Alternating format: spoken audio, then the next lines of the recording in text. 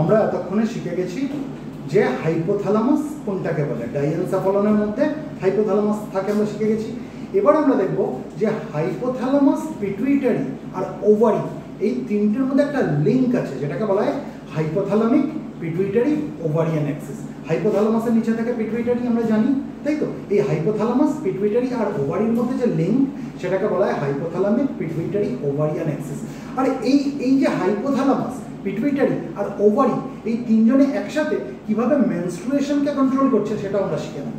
তাহলে প্রথমে আমরা যেটা জানব সেটা হচ্ছে hypothalamic pituitary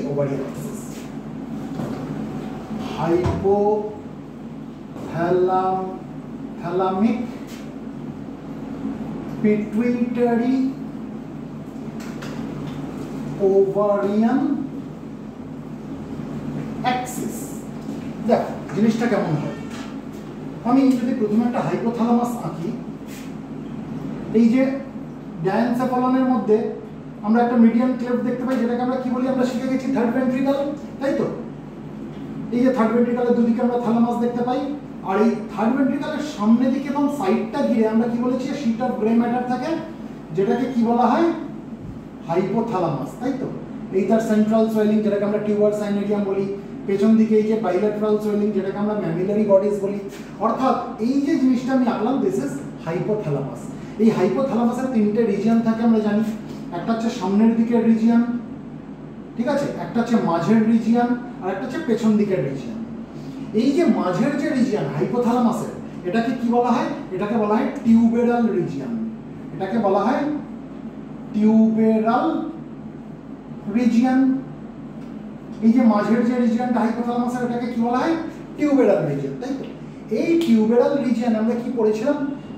যে দুটো মেজর নিউক্লিয়াই এর মধ্যে একটা মেজর নিউক্লিয়াই এর নাম হচ্ছে আর্কুয়েট নিউক্লিয়াস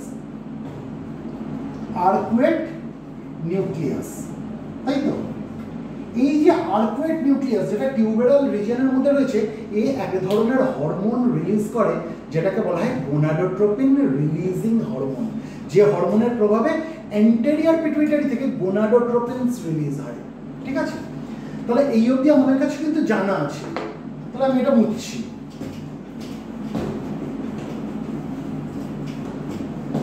তাহলে হাইপোথ্যালামাসের টিউবেরাল রিজিয়ন থেকে এটা যদি হাইপোথ্যালামাস হয়, এটা যদি হাইপোথ্যালামাসের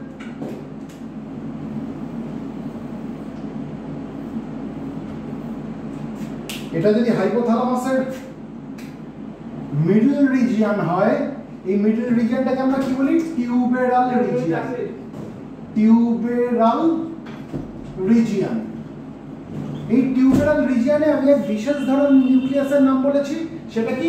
আর্কুয়েট নিউক্লিয়াস তাই তো? তার নাম হচ্ছে আর্কুয়েট নিউক্লিয়াস এই আর্কুয়েট নিউক্লিয়াস থেকে এক বিশেষ ধরনের হরমোন রিলিজ হয়, যেটাকে বলা হয় গোনাডোট্রোপিন গোনাডোট্রোপিন রিলিজিং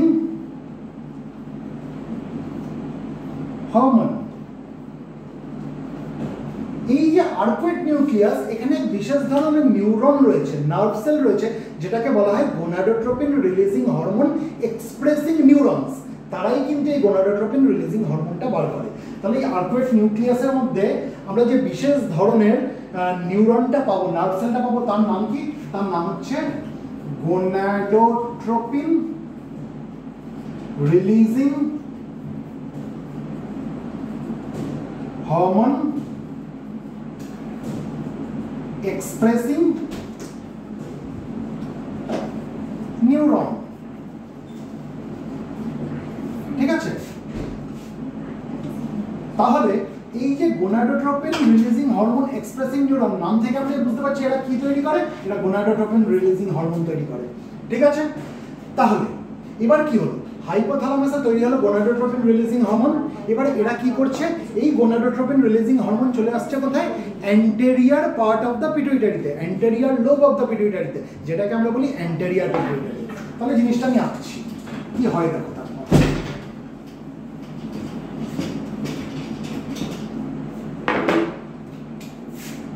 এই হচ্ছে হাইপোথালামাস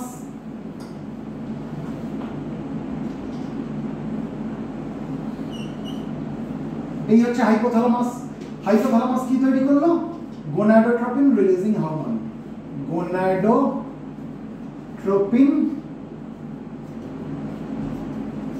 releasing hormone তাই তো?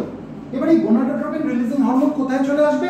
অ্যান্টেরিয়ার পার্ট অফ দ্য পিটুইটারিতে মানে এটা যদি পিটুইটারি গ্ল্যান্ড হয়, এটা কি, এটা হচ্ছে তার অ্যান্টেরিয়ার পার্ট মানে এটা হচ্ছে অ্যান্টেরিয়ার পিটুইটারি আর এটা হচ্ছে পস্টেরিয়ার লোব এটাকে বলা হয় পস্টেরিয়ার পিটুইটারি ঠিক আছে? এদের মাঝখানে একটা জায়গা আছে, আমরা শিখেছিলাম, যেটাকে বলা হয় পার্স ইন্টারমিডিয়া এই মাঝের জায়গাটাকে কি বলা হয়? পার্স ইন্টারমিডিয়া অ্যান্টেরিয়ার পিটুইটারি এবং পস্টেরিয়ার পিটুইটারি মাঝখানে থাকে পার্স ইন্টারমিডিয়া এতটা ডিটেলসে আমি যাচ্ছি এই যে পিটুইটারি ঠিক আছে, যেটাকে আমরা হাইপোফাইসিস বলে থাকি টেকনিক্যালি এটা হাইপোথ্যালামাসের সঙ্গে কানেক্টেড কিসের মাধ্যমে? ইনফান্ডিবিউলামের মাধ্যমে, তাই না? আমরা শিখেছি। এবার এই হাইপোথ্যালামাসের সঙ্গে অ্যান্টেরিয়ার পিটুইটারি কি দিয়ে কানেক্টেড থাকে? By means of a portal system এই পোর্টাল সিস্টেমটাকে কি বলা হয়?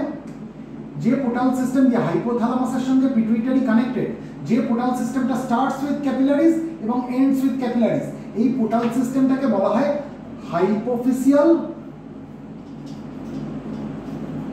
portal system portal system তাই তো হাইপোফিসিয়াল পোর্টাল সিস্টেম তাহলে এই যে গোনাডোট্রপিন রিলিজিং হরমোন যেটা হাইপোথ্যালামাসে তৈরি হলো, সে এই হাইপোফিসিয়াল পোর্টাল সিস্টেম দিয়ে কোথায় চলে আসবে? অ্যান্টেরিয়ার পিটুইটারিতে চলে আসবে। আর এই অ্যান্টেরিয়ার পিটুইটারিতে গোনাডোট্রোপ নামক এক ধরনের বিশেষ কোষ থাকে, তারা তখন স্টিমুলেটেড হয়ে যাবে। আর যেই মুহূর্তে এই গোনাডোট্রোপ নামক সেলগুলো অ্যান্টেরিয়ার পিটুইটারিতে স্টিমুলেটেড হয়ে যাবে তখন অ্যান্টেরিয়ার পিটুইটারি কি রিলিজ করবে? গোনাডোট্রোপিনস নামক হরমোনগুলো রিলিজ করবে। এটা তখন গোনাডো ট্রোপিনস নামক হরমোন রিলিজ করবে। এবার এই গোনাডোট্রোপিনস এর মধ্যে কি কি পড়ে আমরা জানি? গোনাডোট্রোপিনস এর মধ্যে পড়ে ফলিক্যাল স্টিমুলেটিং হরমোন এবং লিউটিনাইজিং হরমোন। এই ফলিক্যাল স্টিমুলেটিং হরমোনও এক ধরনের গোনাডোট্রোপিন এই লিউটিনাইজিং হরমোনও এক ধরনের গোনাডোট্রোপিন এটা আমরা বুঝে গেছি। এরপরে আসবে ওভারি তাই তো? মানে এটা যদি মহিলাদের ইউটেরাস হয়, এটা যদি ফ্যালোপিয়ান টিউব হয়, আমরা কি জানি? এই ফ্যালোপিয়ান টিউবের এই দুদিকে, দুটো ফ্যালোপিয়ান টিউবের এই দুপাশে আমরা কি দেখব? ওভারি রয়েছে।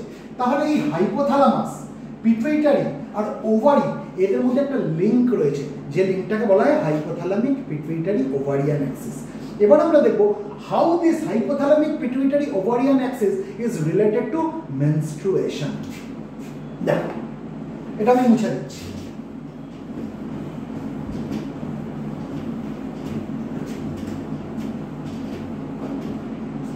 মেনস্ট্রুয়াল সাইকেল আইডিয়ালি কত দিনের হয়? টোয়েন্টি এইট ডেজের হয়। তার মানে কি সবাই সব সব মহিলার ক্ষেত্রে টোয়েন্টি এইট ডেজ হয় না? কি কারোর কারোর বেশি হয়, কারোর কারোর কম হয়। কিন্তু ideally it is for twenty eight days মানে twenty four to thirty five days R considered normal সাইকেলটা অ্যাকচুয়ালি হয় হচ্ছে টোয়েন্টি এইট ডেজের ধরো এটা হচ্ছে day one this is day one and this is day twenty eight তাহলে এই যে মেনস্ট্রুয়াল সাইকেল যেটা এই যে আঠাশ দিনের cycle this is absolutely normal এবার সবার তো আঠাশ দিন হয় না। কারোর আঠাশ দিনের বেশি হয়, কারোর আঠাশ দিনের কম হয়। এবার আঠাশ দিনের থেকে বাড়তে বাড়তে এটা যদি থার্টি ফাইভ ডেজ অবধি চলে যায় ডে থার্টি ফাইভ অবধি চলে যায়, এই থার্টি ফাইভ ডেজ অবধি যদি যায়, সেটাকেও আমরা নর্মাল বলব। কিন্তু থার্টি ফাইভ ডেজ যদি পেরিয়ে যায় থার্টি সিক্স ডেজ হয়ে যায়, তখন আমরা সেটাকে নর্মাল বলব না। তখন সেটাকে বলা হয় অলিগোমেনোরিয়া তখন সেটাকে বলা হয় অলিগোমেনোরিয়া ঠিক আছে? আবার সবাই যে আঠাশ দিন হবে এমন না, আঠাশ দিনের থেকে কমও হতে পারে। টোয়েন্টি ফোর ডেজ অবধি ডে টোয়েন্টি ফোর অবধি কনসিডার হয় normal so twenty four to thirty five days R considered normal আঠাশ দিন হচ্ছে অ্যাবসলিউটলি নর্মাল কারোর কারোর মতে day twenty one to twenty এই day twenty one to thirty five days R considered normal কিন্তু আমরা এই মুহূর্তে ধরে নিচ্ছি day twenty four to day thirty five R considered normal for the menstrual cycle ideal কত দিনের? টোয়েন্টি এইট ডেজ সুতরাং আমি এই থার্টি ফাইভ আর টোয়েন্টি ফোরটা মুছে দিচ্ছি।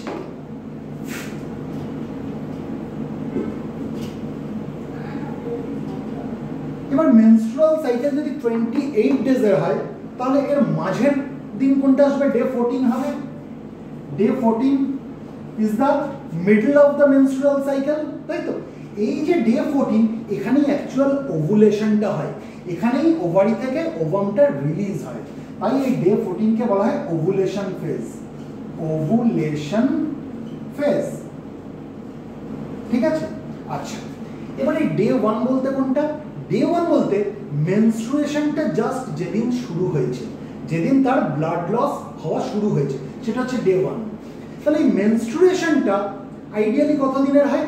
It is ideally for five days menstruation ideally for five days তাহলে এটা যদি ডে ফাইভ হয়, তাহলে সব মহিলাদেরই কি পাঁচ দিন হয়?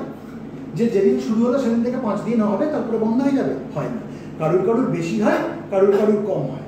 জেনে রেখে দাও two to eight days are consider normal ঠিক আছে? তাহলে এটা যদি ডে টু হয়, আর এটা যদি ডে এইট হয়, তাহলে টু কারোর যদি দুদিন হয় মেনস্ট্রুয়েশন তাহলে সেটাকেও আমরা নর্মাল বলব কারোর যদি আট দিন হয়, সেটাকেও আমরা নর্মাল বলব কিন্তু যদি আট দিনের বেশি হয়ে যায়, সেটাকে আমরা নর্মাল বলব না। যদি দুদিনের কম হয়ে যায়, সেটাকেও আমরা নর্মাল বলব না। আট দিনের বেশি হয়ে যাওয়া মানে বেশি ব্লাড লস হচ্ছে, তাই তো? সেটাকে আমরা বলি মেনোরেজিয়া সেটাকে আমরা বলি মেনোরেজিয়া ক্লিয়ার তাহলে আমরা কি দেখলাম? যে থার্টি ফাইভ ডেজ যদি পেরিয়ে গিয়ে মেনস্ট্রুয়াল সাইকেল হয়, সেটাকে আমরা বলব অলিগোমেনোরিয়া আর যদি হিউজ ব্লাড লস হয়, কার কার কারণে?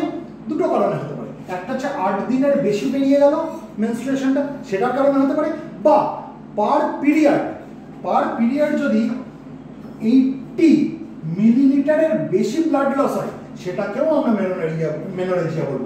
যদি ব্লাড লস এইটটি মিলিলিটারের বেশি হয়, এবার আমরা এইটটি মিলিলিটার মাপবো কি করে? মাপা তো সম্ভব না প্র্যাকটিক্যালি এটা ডাক্তারবাবুরা কি করেন? ওনারা কতগুলো প্যাড লেগেছে সেই মহিলার তার উপরে আইডিয়া করে তারা ধরতে পারেন যে ব্লাড লসটা কি এইটটি এম এর বেশি হয়েছে না হয়নি ঠিক আছে? এই অবধি আমরা বুঝলাম। তাহলে আমরা নর্মালটা আগে ফিরে আসি। যে ডে টোয়েন্টি এইট ডেজ ধরে আমরা সাইকেলটা একটু দেখি কি হয়।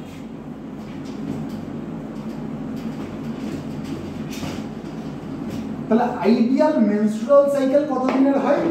আঠাশ দিনের হয়। এটা যদি ডে ওয়ান হয়, যেদিন মেনস্ট্রুয়েশন শুরু হলো, এখান থেকে পাঁচ দিন অবধি মেনস্ট্রুয়েশন চলবে ডে ফাইভ অবধি চলবে, তারপর মেনস্ট্রুয়েশন বন্ধ হয়ে যাবে, কিন্তু সাইকেলটা কন্টিনিউ হবে কত অবধি? Up to day twenty eight আঠাশ দিন অবধি চলবে। এবার এই আঠাশ দিনের মাঝখানে আমি কত বলেছি?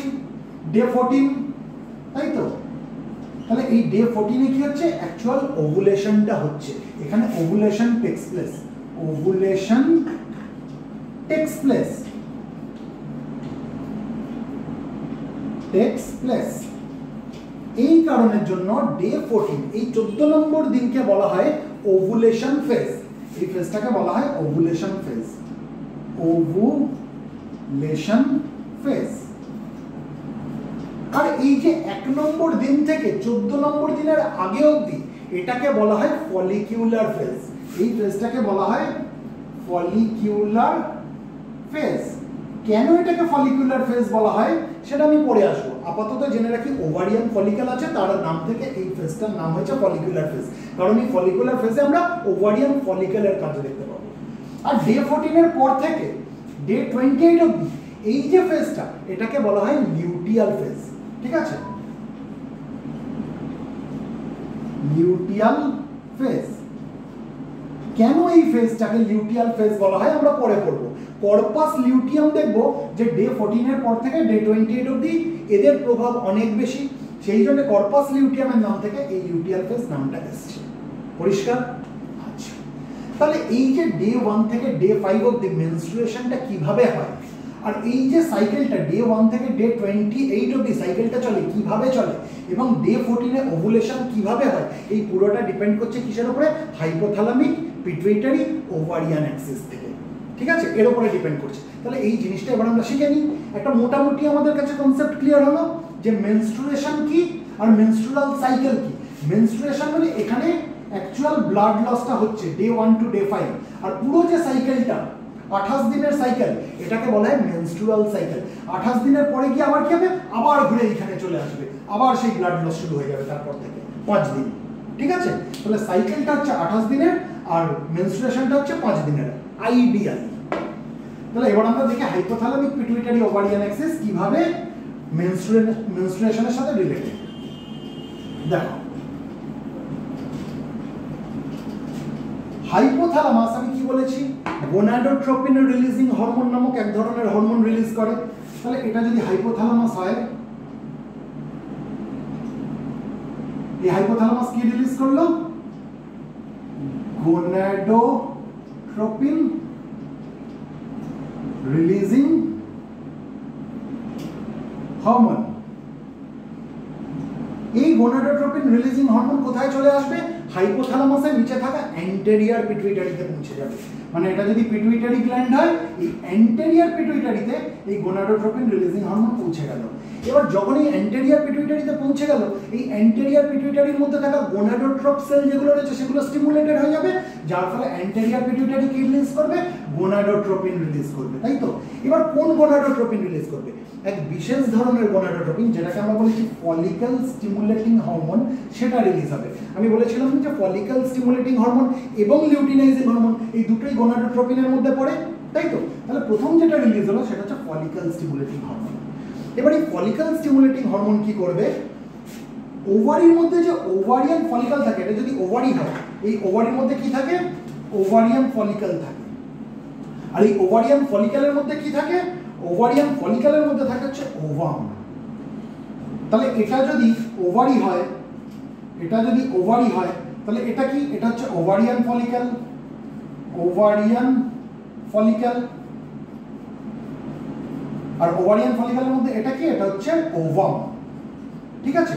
এবার এই যত ফলিকাল স্টিমুলেটিং হরমোন রিলিজ হবে, তত এই ওভারিয়ান ফলিক্যাল ম্যাচিওর হতে থাকবে। ঠিক আছে? তাহলে এই ফলিকাল স্টিমুলেটিং হরমোন যত বাড়বে, যত তার মানে ফলিকাল স্টিমুলেটিং হরমোন রিলিজ হতে থাকবে, তত কি হবে? There will be maturation of the maturation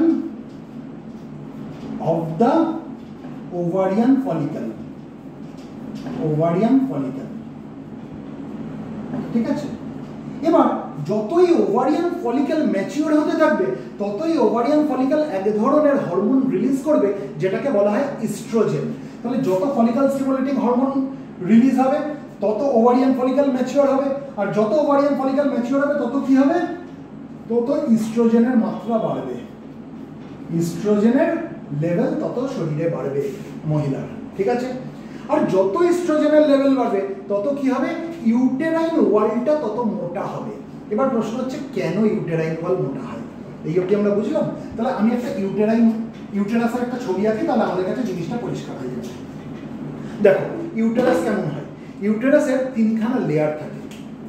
এই যে ইউটেরাস এর তিনটে লেয়ার থাকে। ঠিক আছে? এটা হচ্ছে সার্ভিক্স মানে নেক অফ দ্য ইউটেরাস এই যে ফাঁকা জায়গাটা। একটা হচ্ছে ভেতর দিকের লেয়ার যেটাকে বলা হয় এন্ডোমেট্রিয়াম ভেতর দিকের লেয়ারটাকে কি বলা হয়?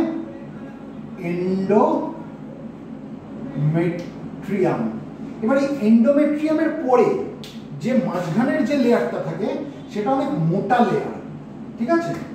সেটা অনেক মোটা লেয়ার এরকম। এই যে লেয়ারটা এটাকে বলা হয় মায়োমেট্রিয়াম মায়োমেট্রিয়াম আর এই মায়োমেট্রিয়ামের পরে যে লেয়ারটা একদম বাইরের দিকের যে লেয়ারটা ইউটেরাসে ঠিক আছে? সেটাকে বলা হয় পেরিমেট্রিয়াম সেটাকে বলা হয় পেরিমেট্রিয়াম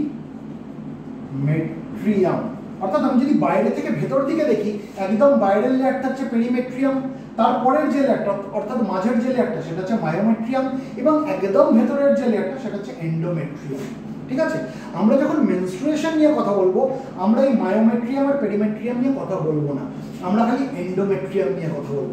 আমরা কি দেখব? এই এন্ডোমেট্রিয়াম যেটা রয়েছে, এটা আস্তে আস্তে মোটা হতে লাগে। কেন মোটা হতে লাগে সেটা আমি বোঝাচ্ছি। ঠিক আছে? যাই হোক, এই দুদিকে কি রয়েছে? ফ্যালোপিয়ান টিউব রয়েছে। আর ফ্যালোপিয়ান টিউবের মাথায় এখানে আমরা কি দেখতে পাবো? ওভারি রয়েছে। তাই তো?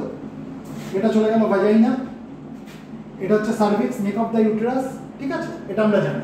এবার কি হয়ে যাবে? এন্ডোমেট্রিয়ামটা মোটা হলে মোটা কেন হয়? ধরো স্পার্মের প্রবেশ হলো। স্পার্মের প্রবেশ হলো। ঠিক আছে? এবার স্পার্মের প্রবেশ হলে প্রত্যেক সাইকেলে একটা ওভারি থেকে ওভাম বেরোয়। এই সাইকেলে যদি ডান দিকের ওভারি থেকে ওভাম বেরোয়, পরের সাইকেলে বাঁ দিকের ওভারি থেকে ওভাম বেরোবে। ওভাম কটা করে বেরোয়? একটা করে বেরোয়। কিন্তু স্পার্ম যায় অসংখ্য। এই যে অসংখ্য স্পার্ম যাচ্ছে, তার মধ্যে যেটা সব থেকে এফেক্টিভ স্পার্ম, সেই কিন্তু ওভামের সাথে গিয়ে ফিউশন করবে। তার ফার্টিলাইজেশন কিন্তু ওই ওভামটার সাথে হবে। ঠিক আছে? তাহলে প্রত্যেক সাইকেলে একটা ওভারি থেকে একটাই ওভাম বেরোবে, যার সাথে অসংখ্য স্পার্মের সাথে একটাই মাত্র স্পার্ম যেটা সব থেকে এফেক্টিভ স্পার্ম সে গিয়ে ফার্টিলাইজ করবে। ঠিক আছে? সে গিয়ে ফিউজ করবে। এই অবধি আমাদের কাছে পরিষ্কার। এবার, যদি এই স্পার্মের সাথে ওভামের ফিউশন হয়ে গেল, তাহলে কি তৈরি হবে? এমব্রায়ো তৈরি হবে, তাই তো? আচ্ছা এই যে ফার্টিলাইজেশন যেটা হচ্ছে স্পার্ম আর ওভামের যে মিলন হচ্ছে, সেটা কোথায় হয়? ফ্যালোপিয়ান টিউবের মধ্যে হয়। সেটা কোথায় হয়? ফ্যালোপিয়ান টিউবের মধ্যে হয়। এটা মাথায় রাখতে হবে। এবার আলটিমেটলি কি তৈরি হবে? এমব্রায়ো তৈরি হবে। ওই এমব্রায়োটা কোথায় অ্যাটাচ করবে? এই যে ইউটেরাইন যে ওয়ালটা তার সঙ্গে অ্যাটাচ করবে। অর্থাৎ এন্ডোমেট্রিয়াম ভেতরের যে লেয়ার যেটা বলেছি, তার সঙ্গে এসে এই এমব্রায়োটা অ্যাটাচ করবে। তাহলে এমব্রায়োটা যদি এন্ডোমেট্রিয়ামের সঙ্গে অ্যাটাচ করে, অর্থাৎ ইউটেরাইন লাইনিংয়ের সঙ্গে যদি এমব্রায়োটা অ্যাটাচ করে, তাহলে এটাকে ভালো রাখার জন্য একটা ভালো কুশন তৈরি করা দরকার। তোমার হাতে আমি যদি একটা বাচ্চা সদ্যজাত শিশুকে দিয়ে দিই, তুমি কি তাকে মাটিতে শুয়ে রাখতে পারবে? কখনোই পারবে না। একটা সুন্দর একটা গদি তৈরি করবে, একটা কুশন তৈরি করবে, তার উপরে রাখবে, যাতে বাচ্চাটার কোনো চোট না আসে। ঠিক সেরকম। এই এমব্রায়োটা যখন ইউটেরাসের লাইনিং এর সঙ্গে অ্যাটাচ হবে, তখন এই এন্ডোমেট্রিয়ামটা মোটা তৈরি হতে হবে। কেন? যাতে এই এমব্রায়োটা ভালোভাবে কুশন পায় বোঝাতে পারলাম? এই যে এন্ডোমেট্রিয়াম অর্থাৎ inner lining of the uterine wall ঠিক আছে? ইউটেরাসের যে ভেতরের যে লাইনিংটা এন্ডোমেট্রিয়াম এটা মোটা হয় কিসের প্রভাবে? ইস্ট্রোজেনের প্রভাবে। যত ইস্ট্রোজেন রিলিজ হবে, তত এন্ডোমেট্রিয়াম মোটা হবে। বোঝাতে পারলাম? তাহলে আমরা কি দেখলাম? ফলিক্যাল স্টিমুলেটিং হরমোন যত বাড়বে, তত কি হবে? ওভারিয়ান ফলিক্যাল ম্যাচিওর হবে। ওভারিয়ান ফলিক্যাল যত বেশি ম্যাচিওর হবে, তত ইস্ট্রোজেন রিলিজ হবে। আর যত ইস্ট্রোজেন রিলিজ হবে, এই এন্ডোমেট্রিয়ামটা তত মোটা হবে। আর এন্ডোমেট্রিয়ামটা মোটা হলে কি হবে? এমব্রায়োটা এসে যখন অ্যাটাচ করবে, সে একটা সুন্দর মতো কুশন পেয়ে যাবে। এই অবধি বোঝা গেল? আচ্ছা। এবার, প্রত্যেক সাইকেলে আমি কি বলেছি? কোনো একটা ওভারি থেকে ওভাম রিলিজ হয়। এই সাইকেলে যদি ডান দিকের ওভারি থেকে ওভাম রিলিজ হয়, পরের সাইকেলে বাঁ দিকের ওভারি থেকে ওভাম রিলিজ হবে। তাই তো? কিন্তু প্রত্যেক সাইকেলে কি স্পার্ম আসে? সেটা সম্ভব। সেটা সম্ভব না। এবার যদি স্পার্ম না আসে, তখন কি হবে? তখন এই এমব্রায়ো তৈরি হওয়ার কোনো গল্প নেই। তাহলে এই যে ইউটেরাইন লাইনিং যেটা মোটা হয়ে গেছে, সেটা কি আর মোটা থাকার দরকার আছে? ও কুশন দেবে কাকে? এমব্রায়ো তো তৈরি হয়নি। তাহলে মোটা থাকার দরকার নেই। তখন কি হবে? তখন এই এন্ডোমেট্রিয়ামটা ভেঙে যাবে। তখন এই এন্ডোমেট্রিয়ামটা ভেঙে যাবে। আর যেই এন্ডোমেট্রিয়ামটা ভেঙে যাবে, তখন কি হবে? এই এন্ডোমেট্রিয়ামের ছিলকা এবং এখানে যে টাইনি ব্লাড ভেসেলসগুলো রয়েছে, যেগুলো ছিঁড়ে গেছে, সেই যার কারণে রক্ত আসছে। এই রক্ত আর এন্ডোমেট্রিয়ামের ছিলকা দুটো একসাথে কি হবে? এই ভাজাইনাল পাথওয়ে দিয়ে বাইরে বেরিয়ে আসবে। ঠিক আছে? And this is called menstruation this is called menstruation. তার মানে মেনস্ট্রুয়েশনে কি আমরা খালি ব্লাড লস দেখতে পাই? খালি ব্লাড থাকে? না। ব্লাডের সঙ্গে এই এন্ডোমেট্রিয়ামের ছিলকাও থাকে। এন্ডোমেট্রিয়ামের টিস্যুগুলো আমরা দেখতে পাবো। তাহলে এই অবধি আমাদের বোঝা গেল? আচ্ছা। এবার কি হয় দেখো? প্রথম ফেজে আমি কি বলেছিলাম? সাইকেলটা কত দিনের হয়? আঠাশ দিনের। Ideally it is for twenty eight days তাহলে এটা যদি ডে ওয়ান হয় এটা যদি ডে টোয়েন্টি এইট হয় ডে টোয়েন্টি এইট হয়, আমরা প্রথম দিকে কি দেখছি? যে ফলিক্যাল স্টিমুলেটিং হরমোন রিলিজ করছে। আর যত ফলিক্যাল স্টিমুলেটিং হরমোনের রিলিজ হচ্ছে, তত ইস্ট্রোজেন রিলিজ হচ্ছে, তাই তো? আর যত ইস্ট্রোজেন রিলিজ হচ্ছে, তত কি হচ্ছে? এন্ডোমেট্রিয়ামটা মোটা হতে হতে যাচ্ছে। ঠিক আছে? এবার এই এন্ডোমেট্রিয়ামটা মোটা হচ্ছে মোটা হচ্ছে মোটা হচ্ছে, তাই তো? আর ফলিক্যাল এই ওভারিয়ান ফলিক্যাল যত এই এই ওভারির মধ্যে যে ওভারিয়ান ফলিকাল আছে, এই ওভারিয়ান ফলিকালের মধ্যে ওভামও আছে, তাই তো? তাহলে যত ওভারিয়ান ফলিক্যাল ম্যাচিওর হবে, তত ওভামটাও ম্যাচিওর হতে থাকবে, ঠিক আছে? এবার যখন ডে ফোরটিনে পৌঁছে গেল, দিনটা যখন ডে ফোরটিনে পৌঁছে গেল, অর্থাৎ mid of the menstrual cycle day ফোরটিনে যখন পৌঁছে গেল, তখন কি হবে? তখন এই ফলিক্যাল স্টিমুলেটিং হরমোন তো রিলিজ হচ্ছিল, এর লেভেল একদম ম্যাক্সিমাম হয়ে যাবে, তাই না? আর এই ফলিক্যাল স্টিমুলেটিং হরমোনের লেভেল ম্যাক্সিমাম মানে কি? ইস্ট্রোজেনেরও লেভেল ম্যাক্সিমাম হয়ে গেছে? ক্লিয়ার এবার যখন ইস্ট্রোজেনের লেভেল একদম ম্যাক্সিমাম হয়ে গেছে ডে ফোরটিনে তখন ইস্ট্রোজেন কি করবে? ও একটা পজিটিভ ফিডব্যাক দেবে অ্যান্টেরিয়ার পিটুইটারিকে ও অ্যান্টেরিয়ার পিটুইটারিকে একটা পজিটিভ ফিডব্যাক দেবে। কি ফিডব্যাক দেবে? তুমি এই মুহূর্তে আরেকটা যে গোনাডোট্রোপিন রয়েছে, সেটাকে রিলিজ করো। আরেকটা গোনাডোট্রোপিন কি? লিউটিনাইজিং হরমোন তুমি ইমিডিয়েট লিউটিনাইজিং হরমোনকে রিলিজ করো। কেন? কারণ এই লিউটিনাইজিং হরমোন রিলিজ না হলে ওভারিয়ান ফলিকাল থেকে ওভামটা বাইরে বেরোতে পারছে না। তাহলে immediately there will be a sharp rise in the luteinizing hormone luteinizing হরমোনের হঠাৎ করে তার লেভেলটা বেড়ে যাবে। ইস্ট্রোজেনের লেভেল যেমন আস্তে আস্তে বাড়ছিল ফলিকল স্টিমুলেটিং হরমোনের লেভেল যেমন আস্তে আস্তে বাড়ছিল লিউটিনাইজিং হরমোনের লেভেলটা কি হবে? একটা শার্প রাইজ হবে। আর because of the sharp rise in the level of the luteinizing hormone কি হবে? এই ওভারিয়ান ফলিকল থেকে ওভামটা বেরিয়ে যাবে। তার মানে ডে ফোরটিনে আমরা কি দেখলাম? ওভুলেশন হয়ে গেল। ওভুলেশন হয়ে গেল। ডে ওয়ান থেকে ডে ফোরটিনের মধ্যে আমরা কি দেখেছিলাম? ওভারিয়ান ফলিকাল ম্যাচিওর করছে। এটা যদি ওভারিয়ান ফলিকাল হয়, তার মধ্যে ওভামটা রয়েছে। কিন্তু ডে ফোরটিনে কি দেখলাম আমরা? এই ওভারিয়ান ফলিকালটা আলাদা হয়ে গেল ওভামটা আলাদা হয়ে গেল। বোঝাতে পারলাম? এই ওভারিয়ান ফলিকাল থেকে ওভামটা বেরিয়ে আসলো। এই যে ওভারিয়ান ফলিকাল থেকে ওভামটা বেরিয়ে গেল, তখন এই ওভারিয়ান ফলিকালটার নাম হয়ে গেল কর্পাস লিউটিয়াম তখন এই ওভারিয়ান ফলিকালটার নাম কি হয়ে গেল? কর্পাস লিউটিয়াম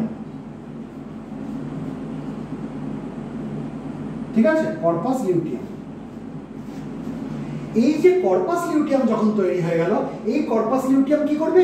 এ আরেক ধরনের হরমোন রিলিজ করবে, যেটাকে বলা হয় প্রোজেস্টেরন এই যে হরমোনটা রিলিজ করবে, সেটাকে বলা হয় প্রোজেস্টেরন ঠিক আছে? তাহলে এই ডে ফোরটিন থেকে ডে টোয়েন্টি এইট অব্দি কি হবে? এই কর্পাস লিউটিয়াম প্রোজেস্টেরন রিলিজ করতে লাগবে। তাহলে আমরা কি দেখলাম? যে ডে ওয়ান থেকে ডে ফোরটিনের মধ্যে প্রভাব কার বেশি? ওভারিয়ান ফলিকলের প্রভাব বেশি। সেই জন্য ডে ওয়ান থেকে ডে ফোরটিনের আগে অব্দি ফেজটাকে কি বলা হয়? Follicular phase follicular phase day ফোরটিনকে কি বলা হচ্ছে? ওভুলেশন হচ্ছে যেহেতু ওভুলেশন ফেজ ঠিক আছে? ওভুলেশন ফেজ আর ডে ফোরটিনের পর থেকে ডে টোয়েন্টি এইট অব্দি কার প্রভাব দেখছি? কর্পাস লিউটিয়ামের প্রভাব দেখছি। তাই এই ফেজটাকে কি বলা হয়? লিউটিয়াল ফেজ লিউটিয়াল ফেজ এই অবধি আমাদের কাছে পরিষ্কার হলো? আচ্ছা এবার একটা জিনিস জেনে রাখো। এই যে মেনস্ট্রুয়াল সাইকেলটা বড় হয় বা ছোট হয়, এটা কিসের জন্য? এটা কোন মানে কোন ফেজটা বড় ছোট হয়? অ্যাকচুয়ালি ফলিক্যাল ফলিকুলার ফেজটা বড় ছোট হয়। লিউটিয়াল ফেজ কিন্তু বড় ছোট হয় না, এটা মাথায় রাখো। লিউটিয়াল ফেজ একদম ফিক্সড থাকে। তাহলে ফলিকুলার ফেজ যদি বেড়ে যায়, তাহলে কি হবে? পুরো সাইকেলটা বড় হয়ে যাবে। ফলিকুলার ফেজ যদি ছোট হয়, তাহলে কি হবে? পুরো সাইকেলটা ছোট হয়ে যাবে। তাই তো? তাহলে ফলিকুলার ফেজটার বড় ছোট হয়, যার জন্য আমরা কি দেখি? পুরো পুরো এই যে মেনস্ট্রুয়াল সাইকেল এটা বড় ছোট হচ্ছে। লিউটিয়াল ফেজের কোনো বড় ছোট হয় না। লিউটিয়াল ফেজটা ফিক্সড নাম্বার অফ ডেজ থাকে। ঠিক আছে? ডে ফোরটিন থেকে ডে হচ্ছে লিউটিয়াল ফেজ আচ্ছা এবার, এই কাজ কি? প্রোজেস্টেরনের কাজ হচ্ছে এই যে ইউটেরাইন লাইনিং যেটা ইস্ট্রোজেনের প্রভাবে মোটা হয়ে গেছিল, তা সেখানে প্রপার নারিশমেন্ট পৌঁছে দেওয়া। তার মানে ইস্ট্রোজেন আর প্রোজেস্টেরন দুজনে মিলিয়ে কি করছে? খুব সুন্দরভাবে ইউটেরাইন লাইনিংটাকে তৈরি করছে। অর্থাৎ এন্ডোমেট্রিয়ামটাকে খুব সুন্দরভাবে একটা মোটা পুরু যাতে কুশন দিতে পারে, এরকম তৈরি করছে। কিন্তু এই ওভুলেশনটা যে ডে ফোরটিনে হলো স্পার্ম যদি এসে তার সাথে ফিউজ করে গেল ওয়েল অ্যান্ড গুড এমব্রায়ো তৈরি হবে এমব্রায়ো প্রপার কুশন পাবে ইউটেরাইন লাইনিংয়ের মধ্যে, অর্থাৎ এন্ডোমেট্রিয়ামের উপরে এসে প্রপার কুশন পাবে। কিন্তু যদি স্পার্ম না আসে তাহলে স্পার্মের সাথে ওভামের ফিউশন হওয়ার কোনো গল্প নেই। তখন কি হবে? তখন এই ওভামটা আর ভালো থাকতে পারবে না। ওভামটা কতদিন অবধি ওয়েট করবে? ওভামটা টোয়েন্টি ফোর আওয়ার্স অবধি ওয়েট করে স্পার্মের জন্য। স্পার্ম এসে তাকে ফার্টিলাইজ করবে, এর জন্য ওভামটা ওয়েট করে টোয়েন্টি ফোর আওয়ার্স কিন্তু টোয়েন্টি ফোর আওয়ার্স পেরিয়ে গেলে কি হবে? ওভামটা ডিসইন্টিগ্রেট করে যাবে, নষ্ট হয়ে যাবে, ভেঙে যাবে। আর যেই মুহূর্তে ওভামটা নষ্ট হয়ে গেল, তখন কি আর ওই এন্ডোমেট্রিয়ামটা মোটার থাকার দরকার আছে? দরকার নেই? তো যেই মুহূর্তে ওভামটা ভেঙে গেল ওভামটা ডিসইন্টিগ্রেশন হয়ে গেল, সঙ্গে সঙ্গে এই প্রোজেস্টেরন আর ইস্ট্রোজেনের রিলিজ বন্ধ হয়ে যাবে বোঝাতে পারলাম? তাহলে কি হবে? এই ইস্ট্রোজেনের লেভেল কমতে লাগবে প্রোজেস্টেরনের লেভেল কমতে লাগবে, কারণ তারা তো তৈরি হচ্ছে না। যার কারণে কি হবে? এই হাইপোথ্যালামাসে একটা নেগেটিভ ফিডব্যাক যাবে। হাইপোথ্যালামাসে একটা নেগেটিভ ফিডব্যাক যাবে। কি ফিডব্যাক যাবে? যে তুমি ইমিডিয়েটলি গোনাডোট্রপিন রিলিজিং হরমোন যেটা তুমি রিলিজ করছিলে গোনাডোট্রপিন রিলিজিং হরমোন যেটাকে তুমি ছাড়ছিলে, সেটা ছাড়া বন্ধ করে দাও। কেন? কারণ গোনাডোট্রপিন রিলিজিং হরমোন যদি ছাড়া বন্ধ না হয়, তাহলে ফলিকল স্টিমুলেটিং হরমোনও তৈরি হবে এন্টেরিয়ার পিটুইটারিতে সেটা হতে দেওয়া যায় না, কারণ আর ইস্ট্রোজেনের দরকার নেই, আর প্রোজেস্টেরনের দরকার নেই। তাহলে কি হয়ে গেল? গোনাডোট্রপিন রিলিজিং হরমোন যেটা হাইপোথ্যালামাস তৈরি করছিল, সে ওই গোনাডোট্রপিন রিলিজিং হরমোন তৈরি করাটা বন্ধ করে দিল। আর যেই মুহূর্তে বন্ধ করে দিল তাহলে ইস্ট্রোজেন আর প্রজেস্টেরন তো তৈরি হচ্ছে না। তাহলে এন্ডোমেট্রিয়াম যেটা মোটা তৈরি হয়ে গেছিল, সেটা আর মোটা থাকতে পারবে না। তাহলে কি হবে? এন্ডোমেট্রিয়ামটার মধ্যে ভাঙন ধরবে। আর যেই এন্ডোমেট্রিয়ামটা ভেঙে যাবে, তখন সেটা কি হবে? ওটা ভেঙে গিয়ে ভাজাইনা দিয়ে বেরিয়ে চলে আসবে। তাহলে ভাজাইনা দিয়ে আলটিমেটলি কি বেরোলো? এন্ডোমেট্রিয়ামের ছিলকা, অর্থাৎ tissues of the endometrial wall এবং তার সঙ্গে এন্ডোমেট্রিয়ামের মধ্যে যে টাইনি ব্লাড ভেসেলস যেগুলো রয়েছে, সেগুলো ছিঁড়ে গেছে। তাই তার সাথে ব্লাডও বেরিয়ে আসলো। তাই তো? And this is called menstruation বোঝাতে পারলাম? এবার দেখো, যদি ইস্ট্রোজেন নর্মাল যা বেরোচ্ছে, তার থেকে বেশি বেরোয়, যদি নর্মালের থেকে ইস্ট্রোজেনের প্রোডাকশন বেশি হয়, তাহলে এন্ডোমেট্রিয়ামটাও বেশি মোটা হয়ে যাবে, তাই তো? আর নর্মাল যে ইস্ট্রোজেন বেরোচ্ছে, তার থেকে যদি ইস্ট্রোজেন কম বেরোয়, তাহলে কি হবে? এন্ডোমেট্রিয়ামটা যতটা মোটা হবে ততটা মোটা হবে না। আমরা ধরে নিলাম নর্মালের থেকে ইস্ট্রোজেনের প্রোডাকশন অনেক বেশি হচ্ছে। তাহলে এন্ডোমেট্রিয়ামটা অনেক মোটা হয়ে গেছে। এবার যদি এই ওভামটাকে কোনো স্পার্ম এসে ফার্টিলাইজ না করতে পারে তার ওভামটার সাথে যদি স্পার্মের ফিউশন না হয়, তাহলে ইস্ট্রোজেন তো বেশি ছিল এন্ডোমেট্রিয়াম তো মোটা হয়ে গেছে। তাহলে তখন যখন এন্ডোমেট্রিয়ামটা ভাঙবে, তাহলে কি হবে? অনেক বেশি এন্ডোমেট্রিয়ামের ছিলকা আর অনেক বেশি ব্লাড বেরোবে। সেটাকে আমরা কি বলি? সেটাকে আমরা বলি মেনোরেজিয়া সেটার ক্ষেত্রে আমরা তাহলে কি দেখছি? যে এন্ডোমেট্রিয়ামটা যেহেতু অনেক বেশি মোটা হয়ে গেছে, তাই অনেক বেশি এন্ডোমেট্রিয়ামের ছিলকা আর অনেক বেশি ব্লাড সেখান দিয়ে লস হলো। এবং সেটা দেখা গেছে যে এইটটি মিলিলিটারের উপরে ব্লাড কিন্তু ওই সাইকেলে পুরো সাইকেলটার মধ্যে লস হয়েছে। তাই এটাকে আমরা কি বলছি? মেনোরেজিয়া বোঝাতে পারলাম? আচ্ছা এবার আরেকটা জিনিস দেখো। যদি ইস্ট্রোজেনের রিলিজ কম হয়, এবার ইস্ট্রোজেনের রিলিজ কেন কম হচ্ছে? ডেফিনেটলি ফলিক এই যে ফলিকাল স্টিমুলেটিং হরমোন যেটা রয়েছে, এর রিলিজ কম হচ্ছে। কারণ যত বেশি ফলিকাল স্টিমুলেটিং হরমোনের রিলিজ হবে, তত ওভারিয়ান ফলিকাল ম্যাচিওর হবে, আর যত ওভারিয়ান ফলিকাল ম্যাচিওর হবে, তত ইস্ট্রোজেন বেরোবে। এবার যদি ফলিকাল স্টিমুলেটিং হরমোনের রিলিজ কম হয়, তাহলে ওভারিয়ান ফলিকালও ম্যাচিওর হতে দেরি হবে। তাই তো? আর ওভারিয়ান ফলিকাল ম্যাচিওর হতে দেরি হচ্ছে মানে ইস্ট্রোজেনও আস্তে আস্তে রিলিজ হচ্ছে। এবার যদি ওভারিয়ান ফলিকাল ম্যাচিওর হতে টাইম লাগে, তাহলে এই ডে ওয়ান থেকে ডে ফোরটিনের মধ্যে ওভারিয়ান ফলিকাল পুরো ম্যাচিওর হলো না। আরও বেশি তার সময় লাগছে ডে ফিফটিন ডে সিক্সটিন তাই তো? তাহলে কি হলো? ফলিকিউলার ফেজ বেড়ে গেল। বোঝাতে পারছি? এবার যদি ফলিকুলার ফেজ বেড়ে যায় লিউটিয়াল ফেজ তো সমান থাকে। লিউটিয়াল ফেজ তো কোনো বড় ছোট হয় না। তাহলে পুরো সাইকেলটাও বেড়ে গেল। এরকম করে সাইকেলটা বাড়তে বাড়তে বাড়তে বাড়তে যদি থার্টি ফাইভ ডেজের বেশি হয়ে যায়, তাহলে আমরা সেটাকে কি বলব? সেটাকে আমরা আর নর্মাল বলব না। সেটাকে আমরা বলব অলিগো মেনোরিয়া বোঝাতে পারল? আরেকটা জিনিস এই ডে ফোরটিনে ওভুলেশন হয়ে যায়, তাই তো? আমরা জানি কি, এই ওভনটা কতদিন স্পার্মের জন্য ওয়েট করে? টোয়েন্টি ফোর আওয়ার্স ওয়েট করে, তারপরে স্পামটা ডিসইন্টিগ্রেট করে যায়। এই স্পাম বলছি ওভনটা ডিসইন্টিগ্রেট করে যায় ওভনটা নষ্ট হয়ে যায়। তাই তো? তাহলে তুমি চিন্তা করলে যে ডে ফোরটিনে তো ওভুলেশন হলো, তাহলে ডে ফিফটিন অব্দি ওভনটা ঠিকঠাক থাকল, তারপরে ওভনটা নষ্ট হয়ে গেল। তাহলে তুমি এবার প্ল্যানিং করছ এমনভাবে যে তোমাদের মধ্যে ইন্টারকোর্স হবে, কিন্তু তুমি বাচ্চা নিতে চাও না। তুমি কি করলে? ডে ফিফটিন ছেড়ে দিলে ডে সিক্সটিন ছেড়ে দিলে ডে সেভেন্টিনে গিয়ে তুমি ইন্টারকোর্স করলে। তুমি একদম শিওর যে না, তাহলে আর আমি বাচ্চা নিলাম না মানে আমার স্ত্রী আর বাচ্চা নেবে না এর ক্ষেত্রে। ঠিক আছে? কিন্তু একটা জিনিস জেনে রেখে দাও no period is safe period কেন এই কথাটা বললাম? তুমি নেটে অনেক কিছু পাবে যে এটা হচ্ছে সেফ পিরিয়ড এটা হচ্ছে সেফ পিরিয়ড বইয়ের ভাষায় অনেক কিছু পাবে, এই থেকে এই পিরিয়ডটা হচ্ছে সেফ পিরিয়ড এই থেকে এই পিরিয়ডটা হচ্ছে সেফ পিরিয়ড আমি তোমায় বলছি practically there is no period called safe period তার কারণ হচ্ছে, এই যে মেনস্ট্রাল সাইকেল এটা কিন্তু বড় ছোট হয়। তুমি ক্যালকুলেট করেছ যে ডে ফোরটিনে ওভুলেশন হয়। ওভামটা চব্বিশ ঘণ্টা অবধি ঠিক থাকতে পারে স্পার্মের জন্য ওয়েট করে, তারপরে সেটা ডিসইন্টিগ্রেট করে যায়। তুমি ডে ফিফটিনে জানো যে কি হলো? ওভামটা ডিসইন্টিগ্রেট করে গেছে। তুমি ডে সিক্সটিন ছেড়ে দিলে। তুমি ডে সিক্স সেভেন্টিনে গিয়ে তুমি ইন্টারকোর্স করলে। ভাবলে যে ওটা বোধহয় তোমার সেফ পিরিয়ডের মধ্যে পড়ে গেল। কিন্তু কে জানে? হয়তো সাইকেলটা বড় হয়ে গেছে। এবার যদি সাইকেলটা বড় হয়ে যায়, তাহলে এই ওভুলেশন ফেজ যে ডে ফোরটিনে হচ্ছিল, সেটা ডে ফোরটিনে হবে না, সে ডে ফিফটিন ডে সিক্সটিন হয়তো ডে সেভেন্টিনে গিয়ে ওভুলেশন হয়েছে। তাহলে কি হলো? তোমার প্ল্যানিংটা কিন্তু তখন আর কাজ করল না। তাই তো? এই যে জিনিসটা, এই কারণে আমি বলছি no no period is called safe period কারণ সাইকেল সবসময় বড় ছোট হয়। আমি কি বলেছি? Twenty four days to thirty five days are considered normal ঠিক আছে? যার মধ্যে টোয়েন্টি এইট ডেজ হচ্ছে অ্যাবসলিউটলি নর্মাল এবার কেউ কেউ কি বলে থাকে যে twenty one days to thirty five days are considered normal ঠিক আছে, যাই হোক টোয়েন্টি ওয়ান ডেজ হোক বা টোয়েন্টি ফোর ডেজ হোক আলটিমেটলি থার্টি ফাইভ ডেজ অব্দি সেটা যাবে। থার্টি ফাইভ ডেজের বেশি হয়ে গেলে সেটাকে আমরা কি বলি? অলিগোমেনোরিয়া আর মেনস্ট্রুয়েশন কত দিনের জন্য হয় আমরা কি বলেছি? ফাইভ ডেজের জন্য হয়। সবার পাঁচ দিনের জন্য হয়? না। Two to eight days are consider normal যদি দুদিনের কম হয়, সেটা নর্মাল না। আর যদি আট দিনের বেশি হয়ে যায়, সেটাও নর্মাল না। কারোর যদি পাঁচ দিন হয় ইট ইজ অ্যাবসলিউটলি নর্মাল ছ দিন হলে নর্মাল সাত দিন হলেও নর্মাল আট দিন হলেও আমরা সেটাকে নর্মাল বলতে পারি। কিন্তু যদি ন দিন ধরে তার মেনস্ট্রুয়েশন চলতে থাকে, সেটাকে কিন্তু আমরা নর্মাল বলব না। সেটাকে আমরা কি বলব? মেনোরেজিয়া বলব। মানে প্রলংড পিরিয়ড ধরে তার মেনস্ট্রুয়েশনটা হচ্ছে। তাহলে এই পুরো জিনিসটা কে কন্ট্রোল করছে? হাইপোথ্যালামাস কন্ট্রোল করছে পিটুইটারি কন্ট্রোল করছে পিটুইটারির কোন পার্টটা কন্ট্রোল করছে? Anterior lobe of the pituitary যাকে আমরা অ্যান্টেরিয়ার পিটুইটারি বলে থাকি, তাই তো?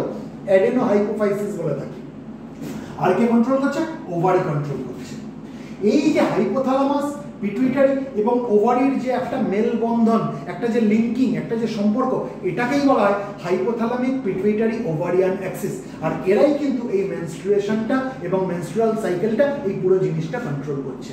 আশা করি আমি এই অবধি তোমাদেরকে বোঝাতে পারলাম।